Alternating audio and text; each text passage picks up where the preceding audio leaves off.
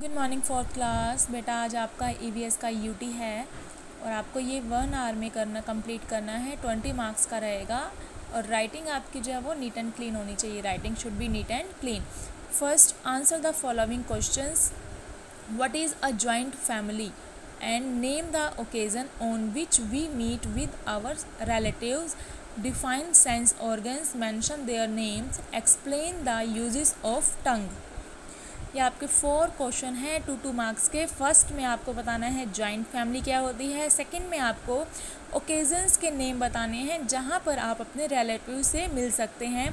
Third में आपको sense organs को डिफाइन करना है और उनके नेम्स बताने हैं। एंड फोर्थ में आपको टंग क्या होती है? हमारी जीभ, उसके क्या क्या यूजेस होते हैं, वो एक्सप्लेन करना है ओके नेक्स्ट है name the following in one और टू वर्ड्स ये आपको शॉर्ट क्वेश्चन है इसके इसके आपको आंसर जो है वो वन और टू वर्ड्स में देने हैं।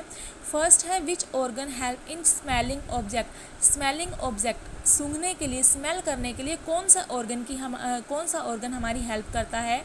सेकेंड है which organ help in feeling object feel करने के लिए जो, जिससे हम फील करते हैं, कौन सा ऑर्गन होता है? एंड थर्ड है parents and children make a parents and children मिलकर क्या बनाते हैं? And parents father is our parents के जो फादर होते हैं, वो हमारे क्या लगते हैं? And how many teeth are found in a child mouth एक बच्चे के माउथ में कितने टीथ होते हैं? ये आपको आंसर लिखना है। थर्ड है filling the blanks we should obey our dash हमें आदर करना चाहिए। किसका? Our parents fulfil our dash needs हमारे पेरेंट्स जो है, हमारी नीड्स को फुलफ़िल करते हैं, कैसी नीड्स को?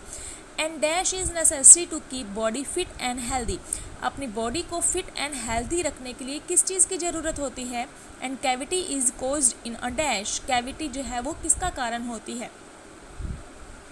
फोर्थ है tick the correct answer nose help us to dash various object smell feel and listen our first school is our first school कौन सा होता है? Parents family and cousins and third है। There are dash incisors in our mouth four eight and six okay तो आपको ये ई e का test करना है एंड देन आपको ये सबमिट करवाना है। Okay thank you